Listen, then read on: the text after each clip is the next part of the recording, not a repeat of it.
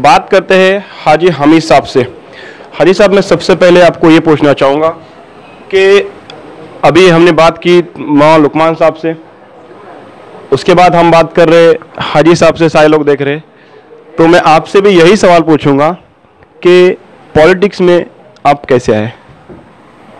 Politics में लोगों के ऊपर जो तकलीफ़ें हो रही है, हम लोगों ने जो हिंदू मुसलमान का फसाद देखा 92 के अंदर उसमें हम लोगों को बहुत दुख हुआ। हमको तकलीफ़ हुई। हर जगह से लोगों को, मुसलमानों को अंदर जाके अंदर डाला गया। हमको दर्द आया। तो हमारे दो शेर हमारे सामने आए। असदुद्दीन बेलेस्टर असदुद्दीन ओवैसी साहब और अकबरुद्दीन ओवैसी साहब जो है, हमारे दो शेर हैं एम आई एम के। मैं ऑल इंडिया मजलिस एहतियातुलमसलमिन का कार्य करता हूँ, जॉइंट सेक्रेटरी। तो हमको ऐसा लगा कि अब हम लोगों को आना चाहिए, इन लोगों का साथ देना चाहिए। और हमारे मुसलमानों को ये लोग सपोर्ट करेंगे और अच्छे से हमारे लोगों को कामयाब करेंगे।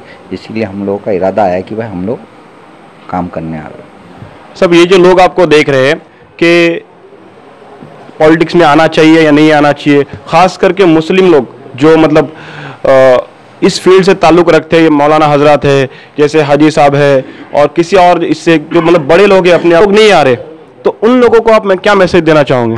मैं उन लोगों से यही कहूँगा कि अगर आप लोगों में ईमान है, ला ला मोहम्मद रसोल्ला तो आप आइए, अल्लाह की ज़ात के बाद ये दोनों शेरों पे भरोसा रखिए कि आप लोगों को अच्छी राह दिखाएँगे और आपको कामयाब करेंगे।